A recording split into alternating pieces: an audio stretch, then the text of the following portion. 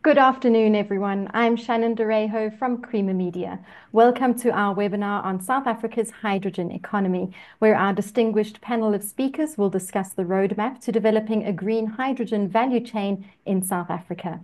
Our webinar today is sponsored by Parker Hannifin and Mitochondria Energy Systems. We thank them for their support in making this event possible. Before we start, please note that we've activated the Q&A function for your questions. Please direct any questions to the Q&A box located at the bottom of your screen.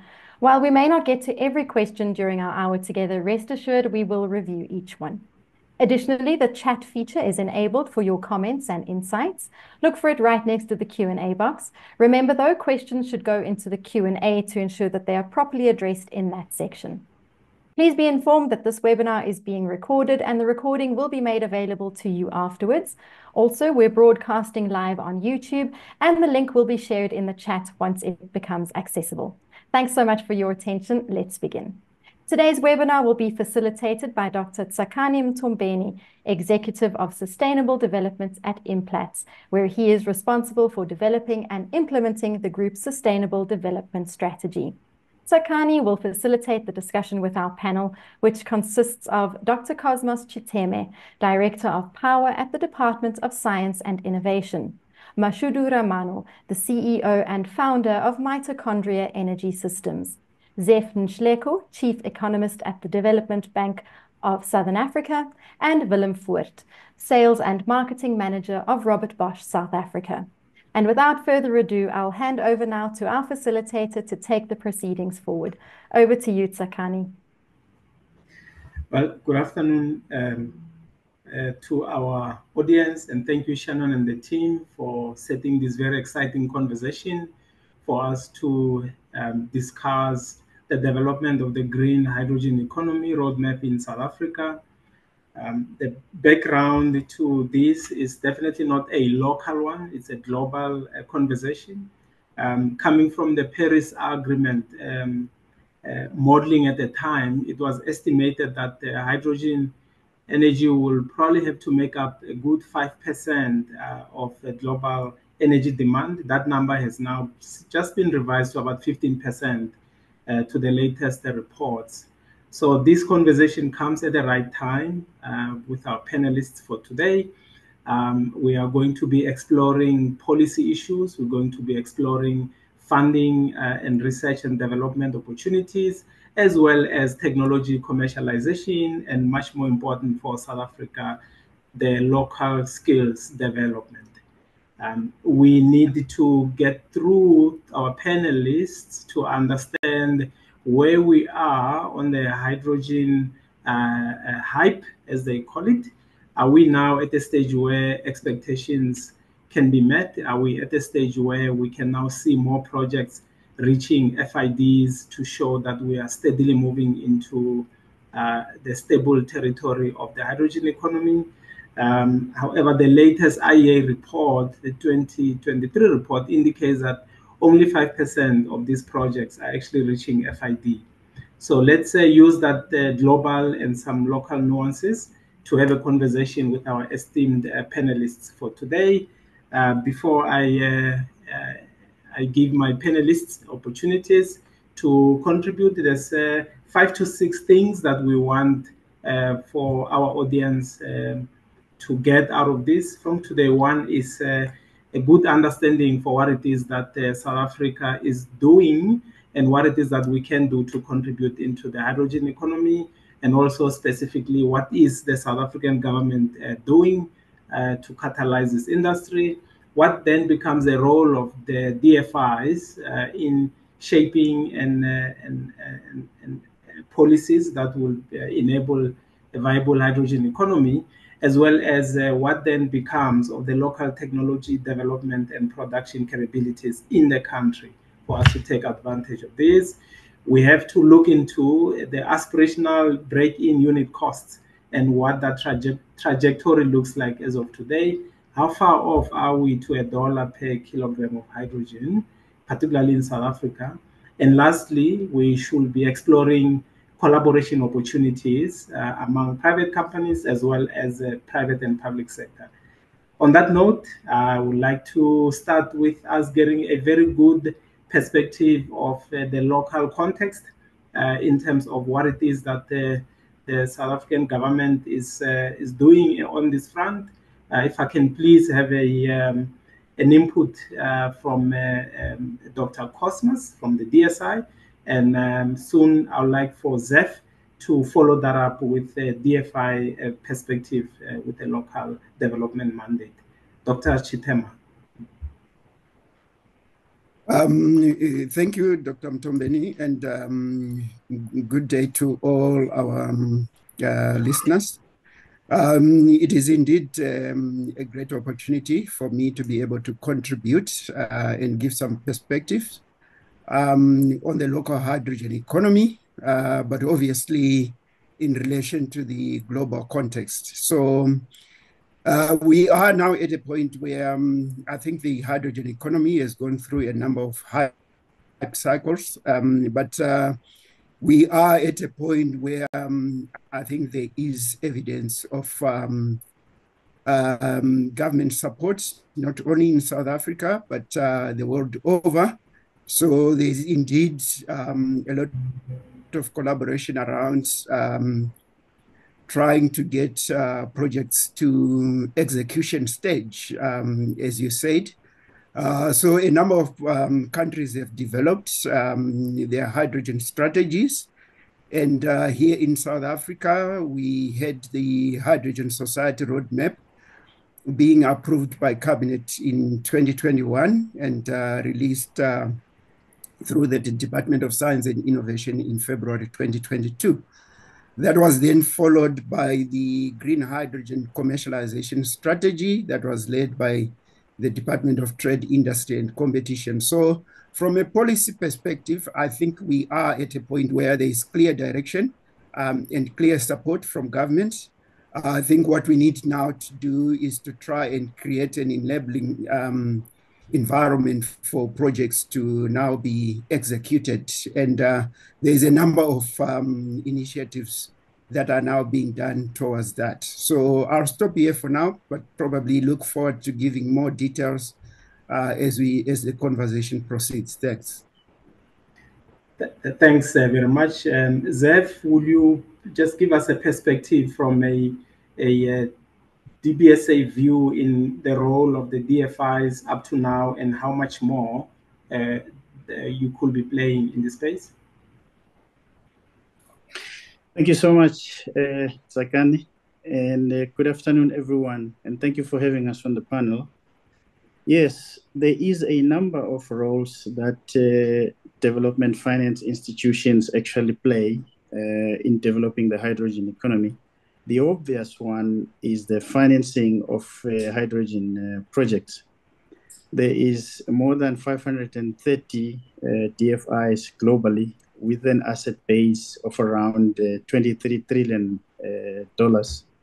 Here in South Africa, we've got about 45 development finance institutions and development finance agencies with an asset base of around 346 billion. So there is uh, an asset base to leverage to, to finance and develop this uh, this sector. But quite frankly, the development of projects only come in later in the process, uh, and uh, the I feel the conversation on hydrogen uh, economy is exactly or more or less where the renewable energy conversation was uh, in the early 2000s. So they, there's still a few critical uh, roles that DFIs should play at this uh, early execution stage. And three of them are the following, uh, Tsakani. One is the question of policy advocacy and technical assistance. I think we, as DFIs, we continue to augment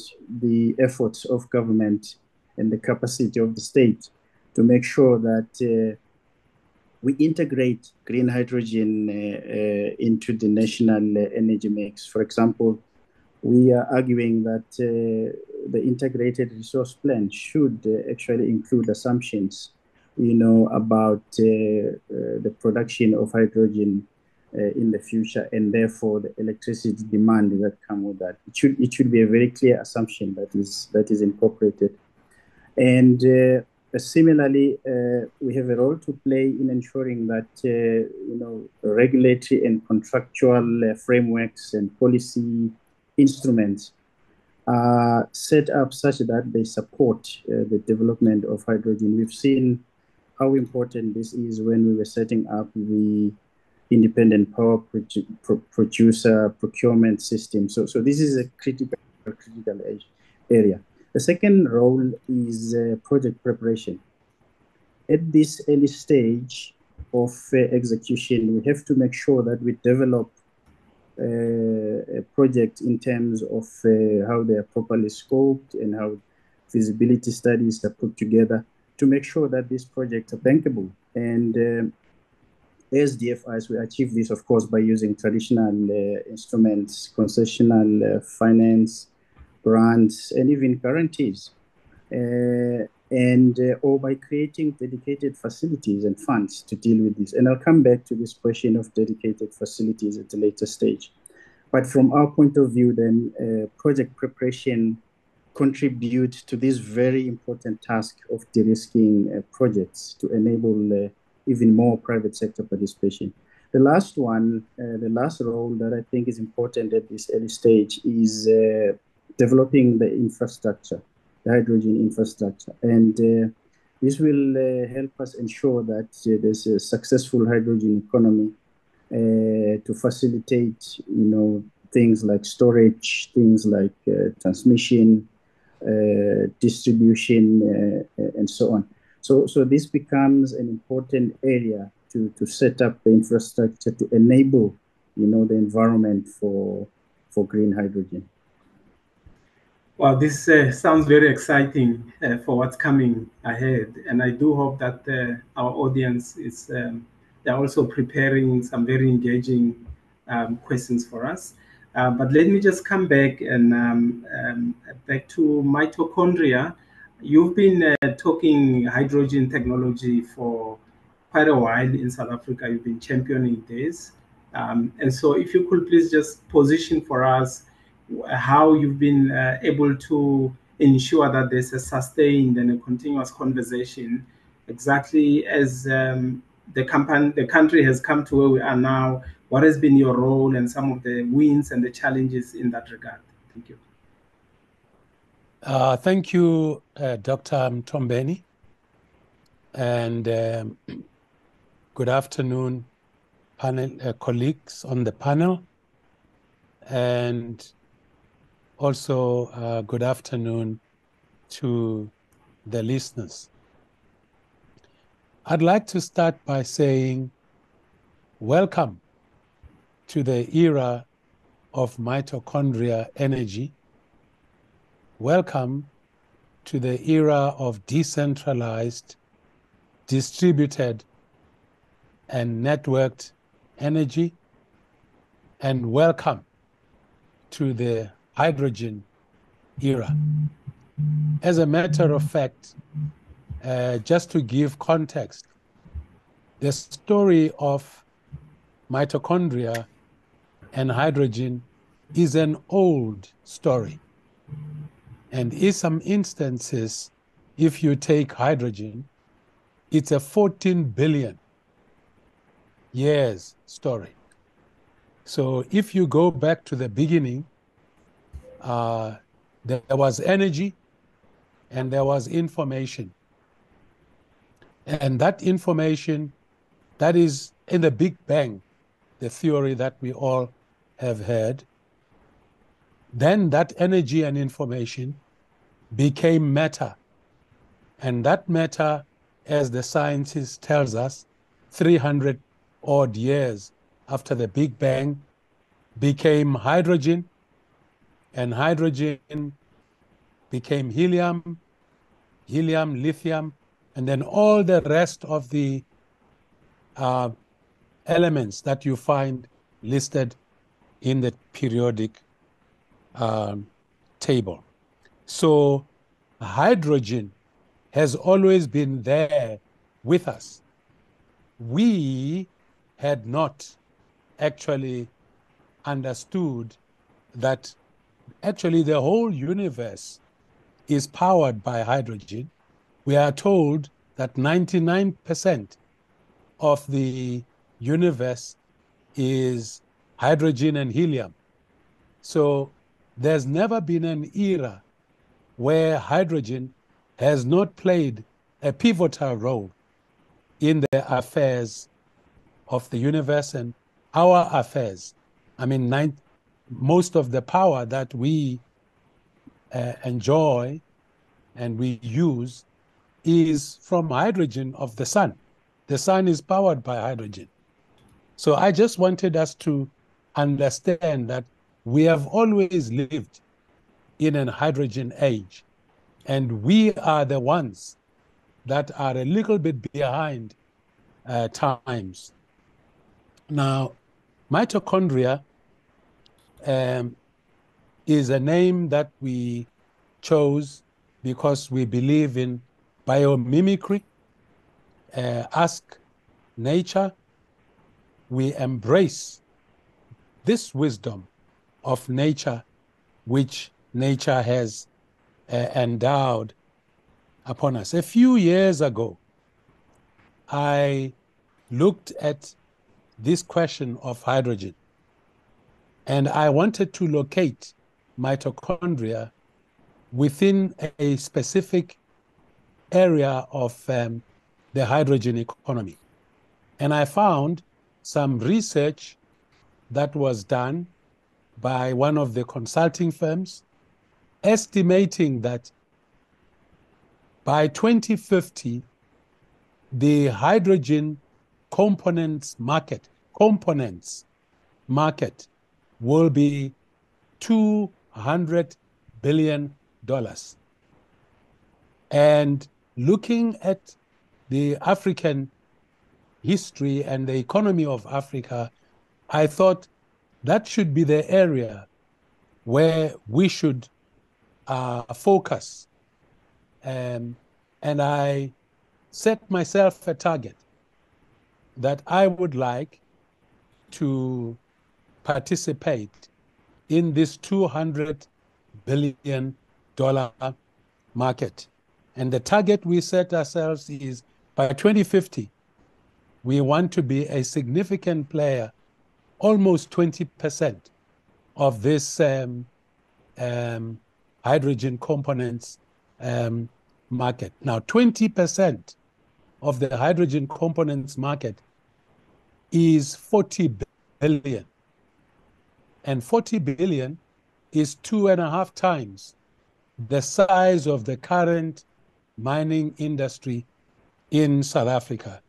So we're not talking about an insignificant um, participation uh, in this uh, um, emerging old hydrogen story. We are talking about becoming serious uh, players.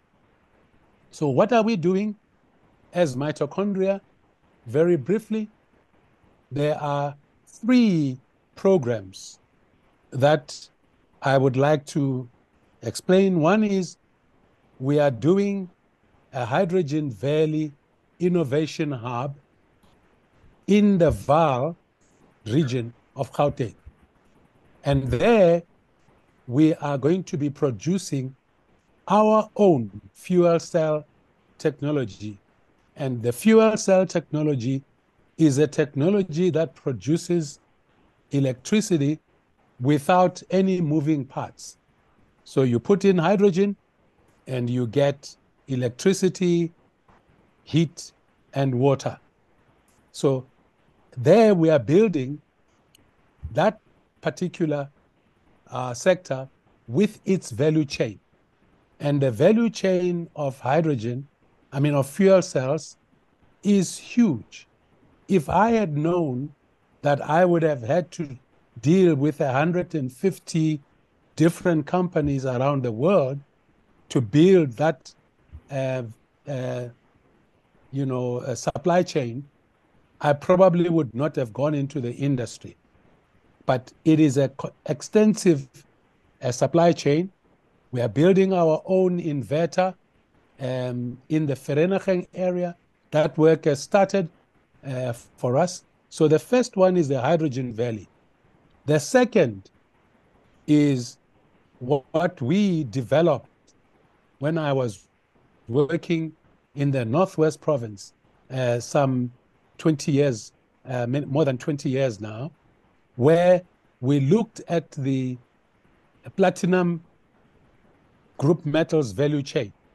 So we are developing what we call the Platinum um, Innovation Hub, which will be based at the Madibeng and more precisely in partnership with uh, Bosch, Robert Bosch, where ah, we will be so, developing.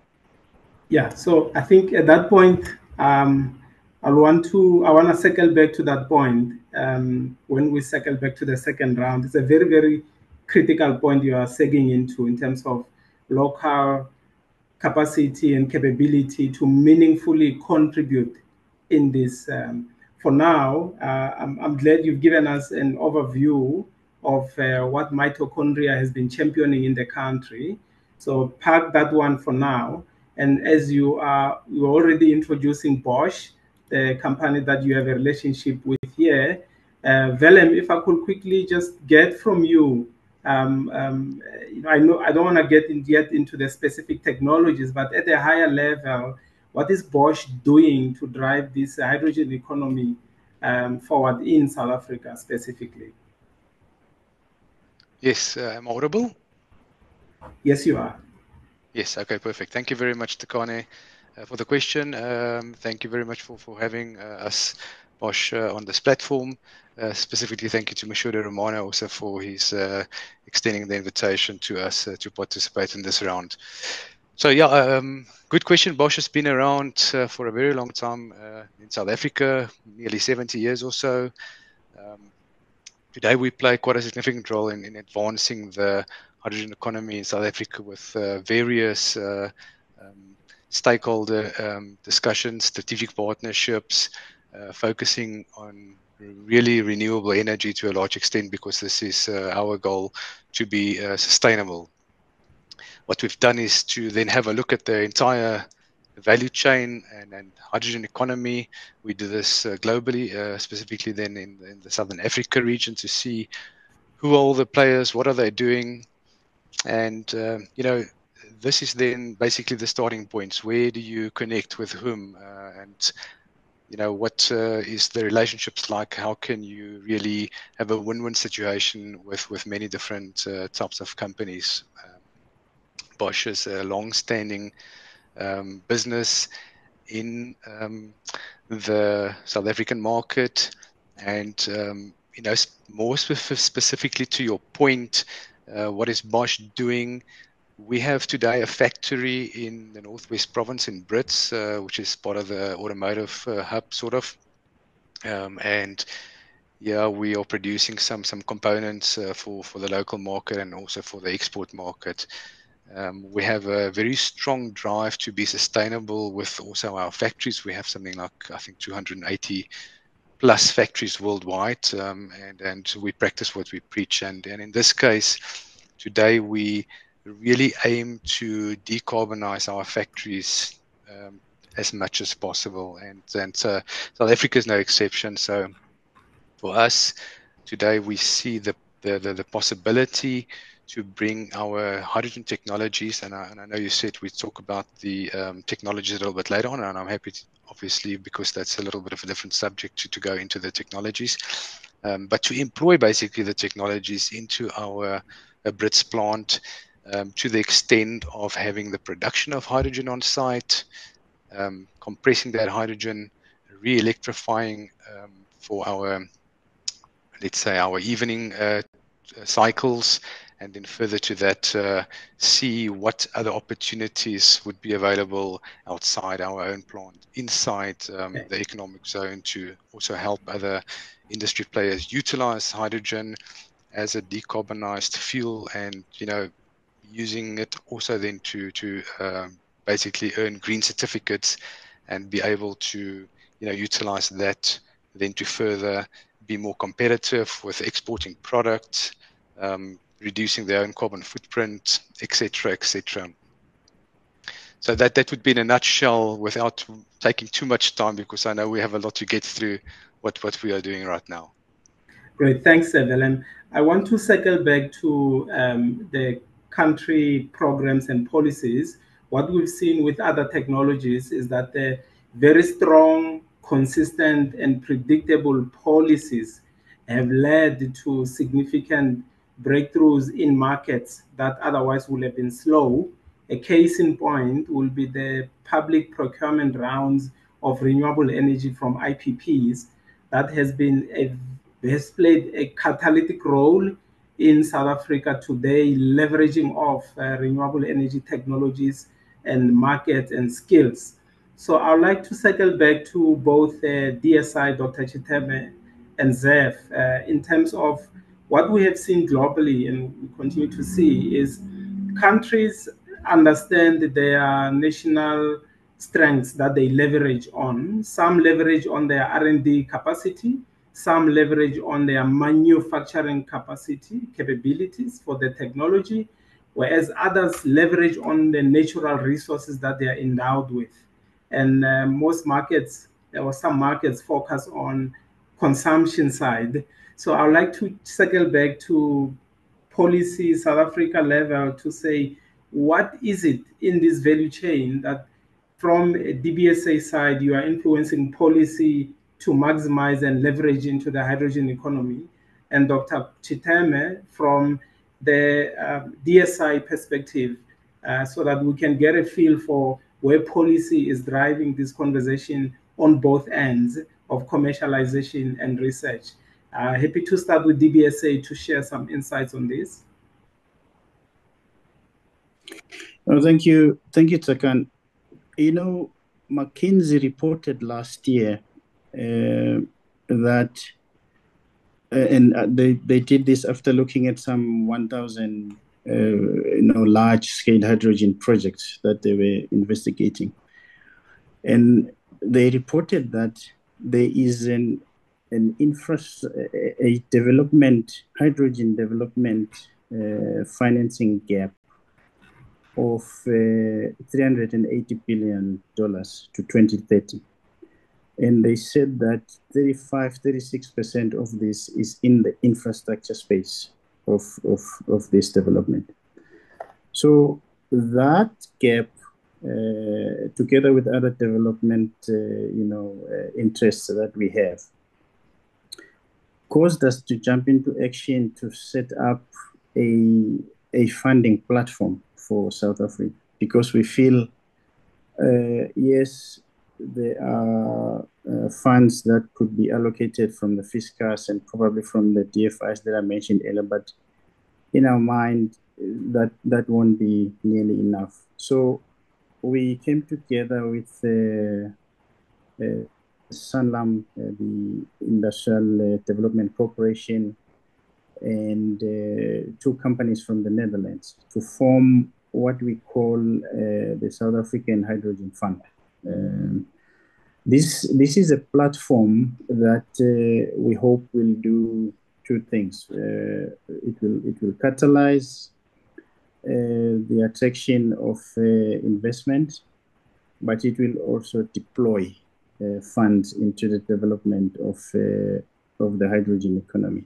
There are two tranches, if I can call them that there is a development capital tranche that we hope it will help us during this early stage and, and, and support the development of project uh, project preparation that I spoke about and so on. There is also the equity construction capital tranche, which then will be deployed into the actual construction of projects. The, the development capital tranche is about $100 uh, and the, the equity construction uh, tranche is, is, is, a billion dollars. Now, to date, we have, uh, uh we have raised the full uh, development capital tranche, and we are looking into closing that fund by this December uh, where we hope that all necessary documentation, you know, partnership, subscriptions, facilities agreement, and so on and so forth would have been signed. So that's that's that's great because, as I said earlier, this is the part that we need uh, now as we start this uh, execution phase. The uh, equity construction capital uh, has got uh, three tiers, if you want to call them that. There is a junior tier for $200 million. There is uh, an ordinary equity tier for 400 million, and there's a senior uh, equity tier for 400 million. And we're looking at closing this particular tranche by April next year uh, to make sure that once the preparation of projects and the support at the early stages is done, uh, interested parties can tap into the actual construction of projects. So this is, we think it's an important uh, augmentation of the government process, uh, uh, not only from a policy support, but from an actual deployment of the of the process. Thanks very much um, for, for that. I think it does show some commitment to move um, the sector, the industry along adopting faster green hydrogen technologies. From an R&D perspective, from DSI, uh, do we have anything unique to offer this uh, this um, this industry? I be catalytic, or do we have uh, capabilities that we've invested in? Yeah, it, it, thanks a lot, um, um, Dr. Mthombeni. Um, I think um, you mentioned three very three um, I mean uh, three important uh, key aspects: the industrial and manufacturing capability, the R&D capability, as well as the natural resource endowment. And um, I think as a country, we are very much privileged that we can actually tick the, all the three boxes and say we have got capabilities in all those areas. Um, as far back uh, as uh, 2007, um, Cabinet approved the uh, Hydrogen South Africa Research, Development and Innovation uh, Strategy, which has really been the key driver in actually setting the foundation uh, for the development of the local hydrogen economy. At the time, the focus was on actually how can we um, promote local value addition um, and beneficiate our PGM uh, resource so that we actually um, create value added goods locally rather than uh, continuing the, the, status quo of um, sending the uh, the PGMs elsewhere and then we then we buy the value added goods back. So um, on the basis of that program, and uh, I would like to really commend government for having made a very conscious decision to fund that program consistently from 2008 until now, uh, where again the pro program has been extended by another 10 years. So um, through that research, development and innovation program, we have been able to create a very healthy portfolio of, of IP along the hydrogen and fuel cell value chain. And these stem from PGM-based catalysts uh, all the way up to value-added products such as membrane electrode assemblies, uh, catalyst-coated membranes, as well as hydrogen storage uh, technologies based on metal hydrides. So we believe that uh, with all that um, capability, we have set ourselves um, up to be a very significant player within the global hydrogen economy value chain. Uh, and that is now being taken to, all those technologies are now being taken to market uh, through collaboration uh, between government and uh, the private sector. Uh, thanks. Yeah, no, thanks very much. So what I would like to do is to, given what you say government has been doing and given what DBSA says, government is making available as a support mechanisms for the industry. Can I circle back to mitochondria and can you share with us your experience in leveraging of these uh, two sides of, uh, of the spectrum in getting to where you are? For example, perhaps talk to us more about the Platinum Innovation Hub, which from your introduction sounds like it's linked very much to a local beneficiation of the, the PGMs. Could you take us through your experience in leveraging of what government says they are making available out there? So maybe I should start by painting why hydrogen and then I can respond to your question. If you look at the energy situation in the whole of the continent, Africa has more than 600 million people that have no access to modern energy services. More than 600 million.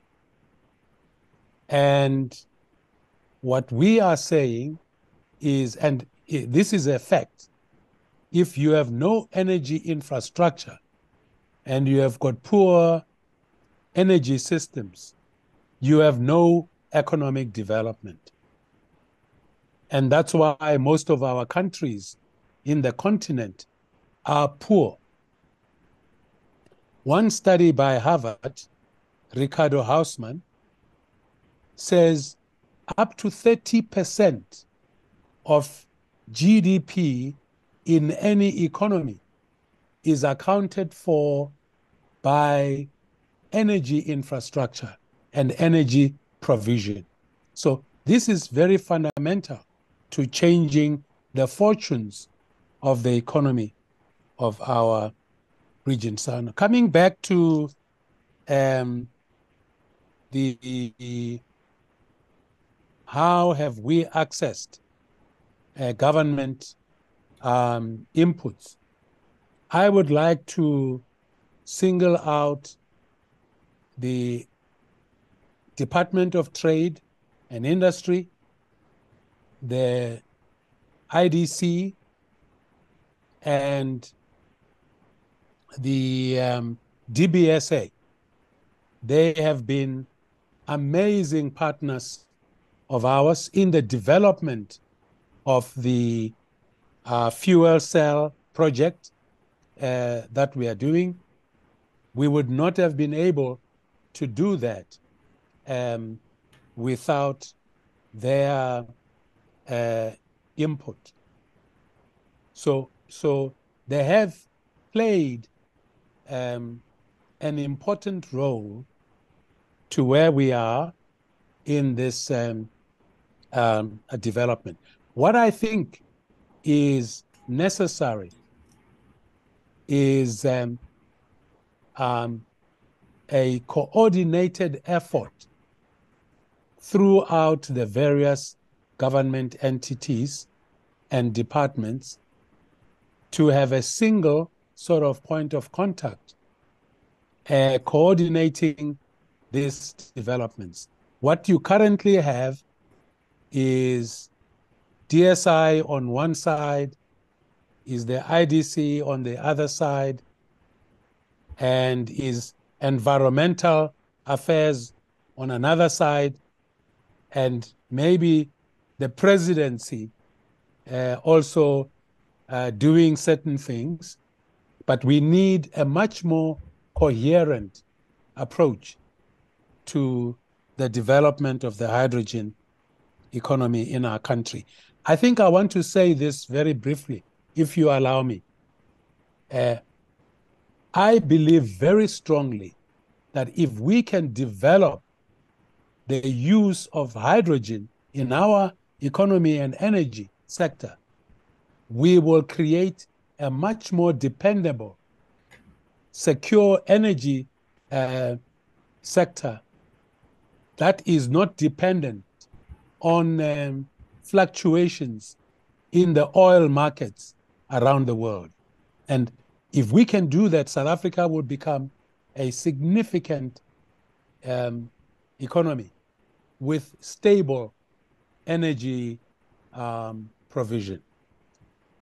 Thank you very much. Uh, it is um, good to hear that uh, it's not only government saying they have all these support mechanisms, but to hear of a beneficiary speaking uh, of having access them, I think is very useful. Um, my last round of questions to my panel here, I want to cycle back into the technology side in terms of unit costs and trends, particularly for green hydrogen. In Europe, it is said that they are currently sitting at about $5 or so per kilogram. Uh, they are hoping that a good indicator will be $2 per kilogram, but definitely wanting to drop below uh, a dollar per kilogram. Based on the research work on the go, based on the technology from Bosch that you're seeing globally, how far off are we in terms of uh, getting to that number, perhaps even $2 um, per, per, kilogram of uh, hydrogen? Dr. Dr. Chiteme, what are we doing to reduce that? Bosch, what are you seeing as key levers to bring that down?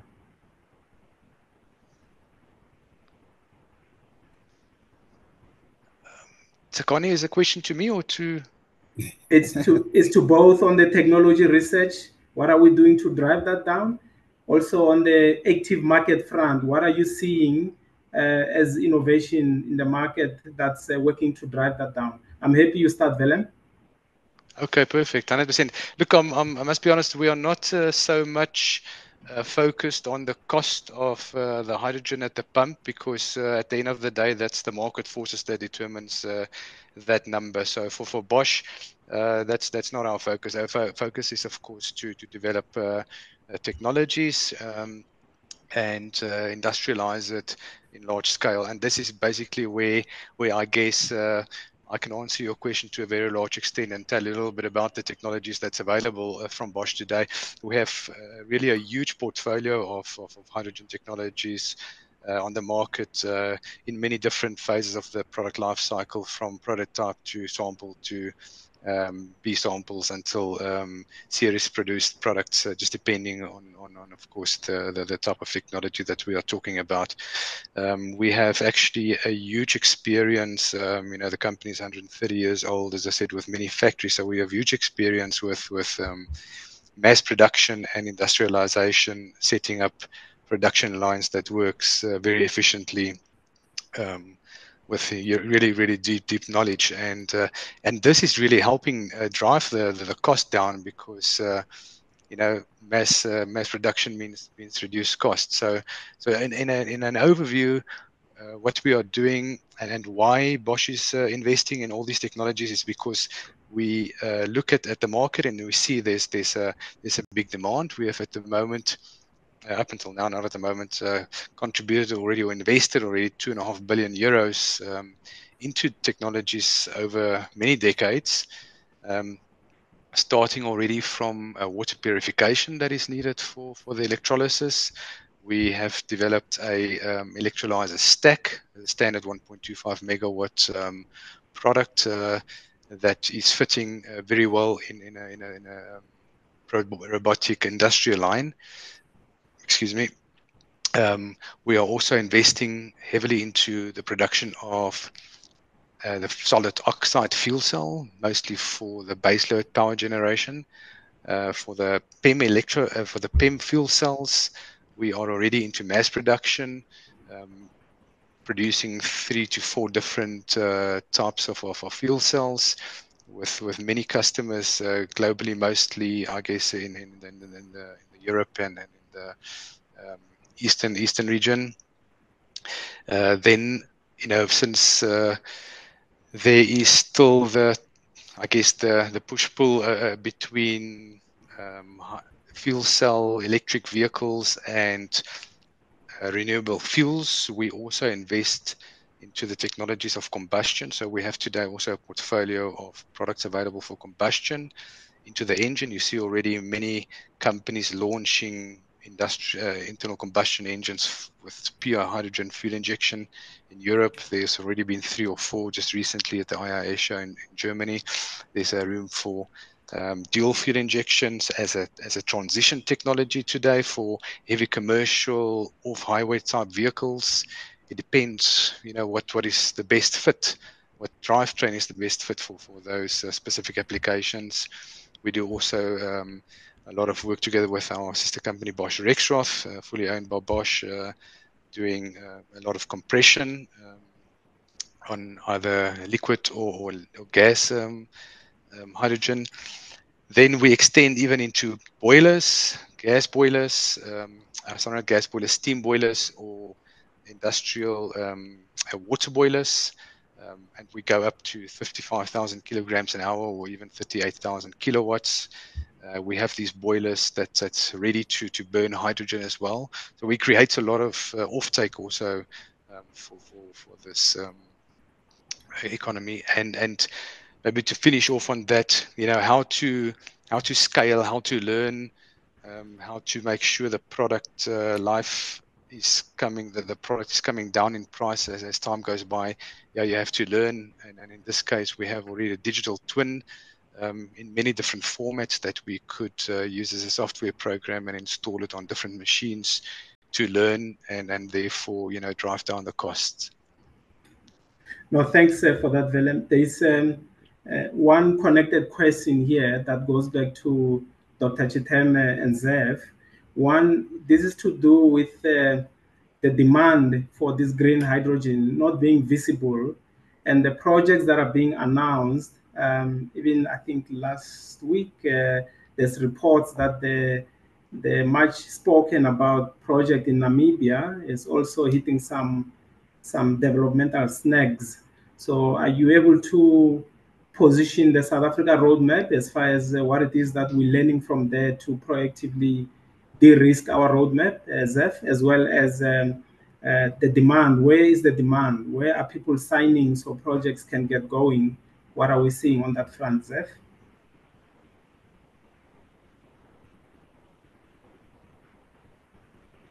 Yeah, I think it becomes very important to ensure that the early stage preparation of projects and support for project is in place. And it's precisely for that reason uh, that project should be bankable. There's about uh, nine projects that are, are, in action at the moment. Uh, most of them are in the Northern Cape, including the. Uh, and and the DBSA is actively involved in in uh, a whole range, a number of them. And uh, the the approach that we are emphasizing is to make sure that these projects are bankable, because otherwise uh, you will not find investors. So I'm I'm just emphasizing the early stage support uh, for these kinds of projects to make sure that uh, they they continue and it's it's uh, it's, it's not a simple, straightforward, you know, sector. So we understand that there'll be there'll be those challenges early on. Great. I think that uh, does give a view of some of the challenges in promoting these uh, technologies uh, at this stage of for where we are. Uh, perhaps we are expecting way too much too soon from this sector. We, we we're not sure. Uh, but uh, it's encouraging that we are, I think, moving in, in the right direction. Um, and uh, from um, what I can hear here, there seems to be one a need for policy alignment, um, and uh, and this is a question that's also now has come up in the Q and A, where people are saying, can we get uh, a single country direction because we seem to be having government departments speaking in different um, uh, directions, maybe it's confusing to the market. So that goes back to the need for shaping the policy discussions there. And also from what I'm hearing, there seems to be this burning need to get the Boegoebaais and these other projects that we have to get to production so that uh, we can uh, ultimately get to see the value proposition uh, manifest. Uh, and uh, at this stage, it does look like uh, the actual demand is it's it's kind of weak. Yes, we're leaving it to the market, but the market is is hesitant um, without these big, um, well-priced or well-costed projects to deliver on the green hydrogen. Uh, and it, it, it, seems like there's a lot more work still that we need to do to create uh, an enabling platform where we can also have a, a, a budding SMME sector supporting it. Um, we've heard from uh, mitochondria, talking to some hundred and more than hundred of uh, uh, uh, suppliers and contractors involved in the sector. So there is definitely something for the country, but it does seem like we need some catalytic lighthouse project to get us there and demonstrate all of these. Um, and, and Shannon, I would like to um, uh, deep into some of the questions that have been posted here for our panel uh, to make sure that uh, we we maximize um, and tap into their knowledge uh, fully here. Uh, we've dealt with the question of policy alignment. We've dealt with and and the and the request there for um, policy alignment. we've also um, reflected on the uh, the Namibia's Green Project. Uh, there's a question here where we are told that uh, it's moving faster than the South Africa's projects. Um, and we're not quite sure why that might be the case and what can be done to catch up. And uh, Zeph, I think you are probably closer to giving some uh, some explanations from what you can see over there. Yeah, no, thanks, Tsakani. I, I wouldn't want to go into specific projects yeah. uh, or details of, of uh, projects, but I think there are very clear uh, opportunities that we should, uh, you know, uh, tap into. Uh, one of them is the fact that industrialization is back, and this time around it is green.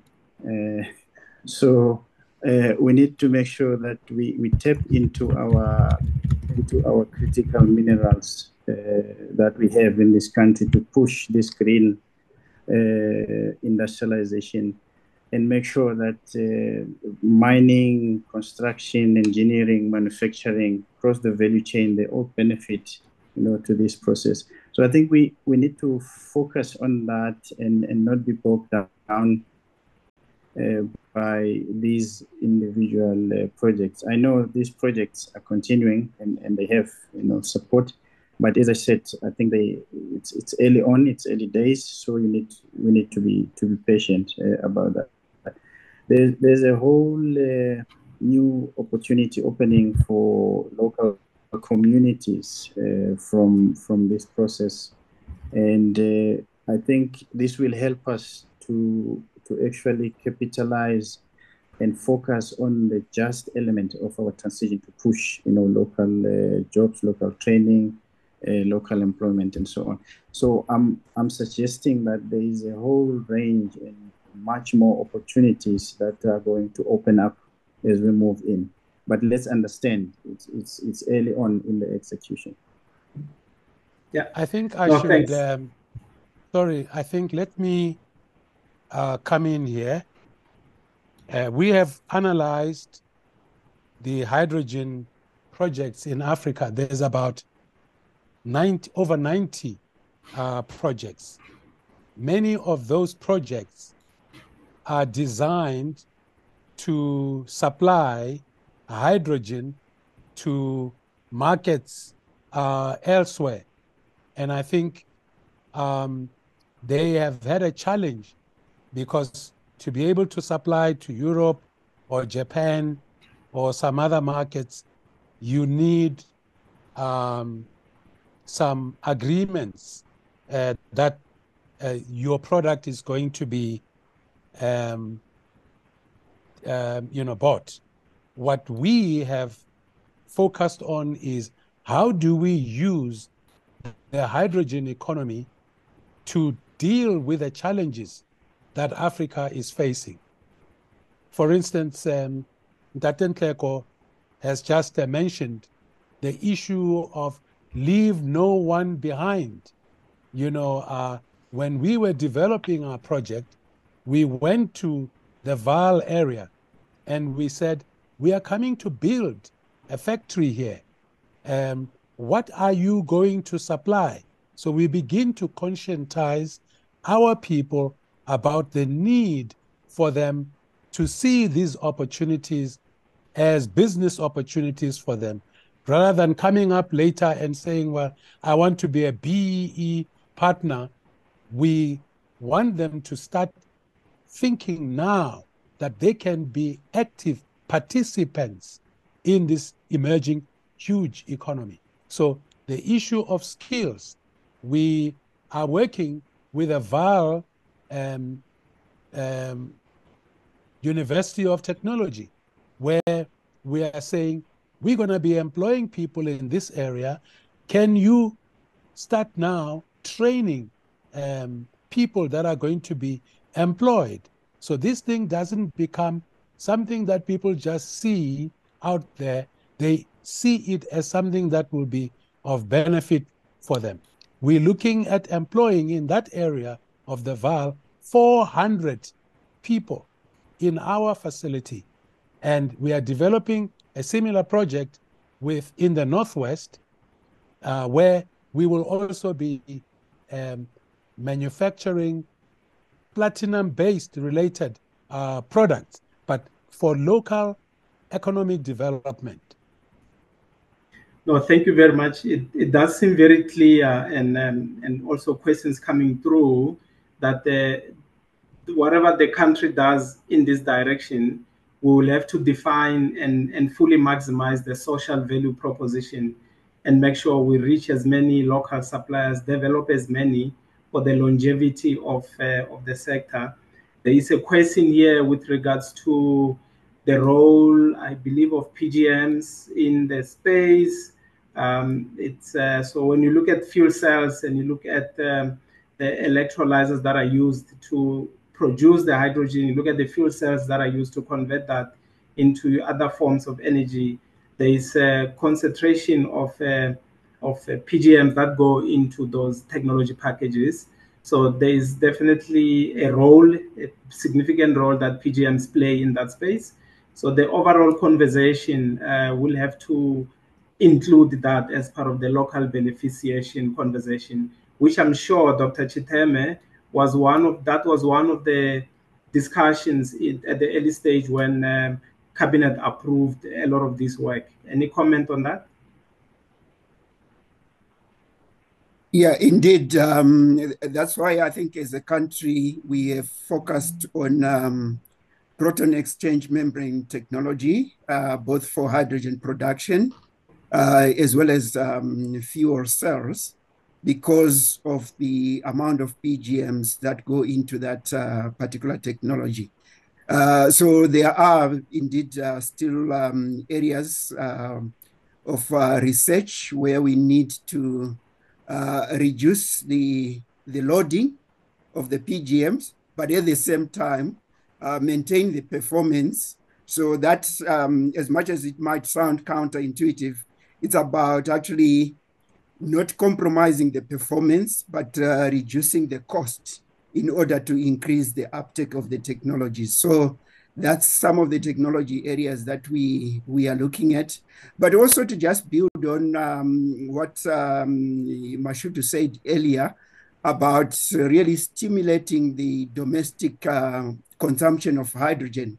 We believe that uh, there is ample opportunities to decarbonize various sectors of our economy whether it's cement production, um, uh, steel production, or even the power generation sector. And we believe that uh, some of the projects that we have done around carbon capture and use, where you then capture and convert the flue gas um, into value added products, those are some of the uh, technologies that are not only going to stimulate the domestic demand for hydrogen, but also maintain our market share, even uh, eh, at the export level, while addressing issues of the just energy transition. Great, thank you very much uh, to the panel. And uh, there's lots of questions here that uh, we may not be able to get through to all of them looking at the clocks. So I'd like to perhaps 30 seconds, each one of the panelists, uh, what you see coming up ahead, uh, what should excite the audience uh, strictly 30 seconds so that we can uh, make sure that uh, we, we get there on time. I'll start from DBSA and then I'll move to Maito and then I'll talk to Bosch and then talk to Chiteme. No, thank you, Tsakani. I think the point I want to conclude on is the at this early stage of execution, the challenges are much more than financing. There's a there's a whole range of things that we must work on from policy to preparing projects to supporting, you know, sponsors and so on. So that becomes uh, very important for us to take into account. And uh, the, the call to, to all uh, investors to, to participate in the South African Hydrogen Fund is still out. Uh, thank you. Thank you very much. Um, uh, Maito, 30 seconds. What do we see ahead? Well, for me, we need to eliminate energy poverty in Africa, and hydrogen gives us that uh, uh, possibility. We need to address Africa's need to industrialize. We should no longer just be consumers of other people's uh, productive capability, but hydrogen gives us the opportunity to industrialize. I think the biggest thing for me is how do we promote a culture or and a mindset and a spirit of making things using the hydrogen economy. Thank you. That's a very uh, apt. Uh, Dr. Chiteme? Yeah, um, just to highlight that um, I think we, as a country, uh, and uh, in fact, as a SADC region, we are very blessed with the um, critical minerals that are required in the energy transition, whether it's the hydrogen economy or the um, mobility in terms of battery electric vehicles. Um, we just need to get uh, on with it and make sure that uh, we really leverage those that resource endowment to promote industrialization uh, in the region through these new energy initiatives. Thanks. Thank you very much. That's very much exciting. And Bosch, I'm sure you'll tell us that uh, the factory is ready to produce and to support local development and SMEs. Did I close it correctly for you? Yes, and we have a job even there for you if you want to, Kane. So, you know, everybody can be happy. Now we are here to stay. We have been here for a long time, and we are here to, to, to drive the economy together as, as a private sector uh, with the government. Uh, we want to uh, create jobs, stimulate economy, make uh, bring skills and resources. You know, the, the Germans are very strong in this case. So we're open for business, and thank you very much. Thank you very much to the panelists and the audience for staying with us, as well as Shannon and the team. May I uh, hand over the microphone to yourself, Shannon? Thanks so much, Tsakani. That does bring us to the end of our webinar. Thank you to everyone who participated in the Q&A. We'll go through everything and where possible, we'll try and respond to you. But I would like to take this opportunity to say thank you to our facilitator, Dr. Tsakani Mthombeni, for enabling an engaging discussion. Thank you also to our panelists, Dr. Cosmas Chiteme from the Department of Science and Innovation, Mashudu Ramano from Mitochondria Energy Systems, Zef Nhleko from Development Bank of Southern Africa, and Willem Voort from Robert Bosch South Africa for their insight.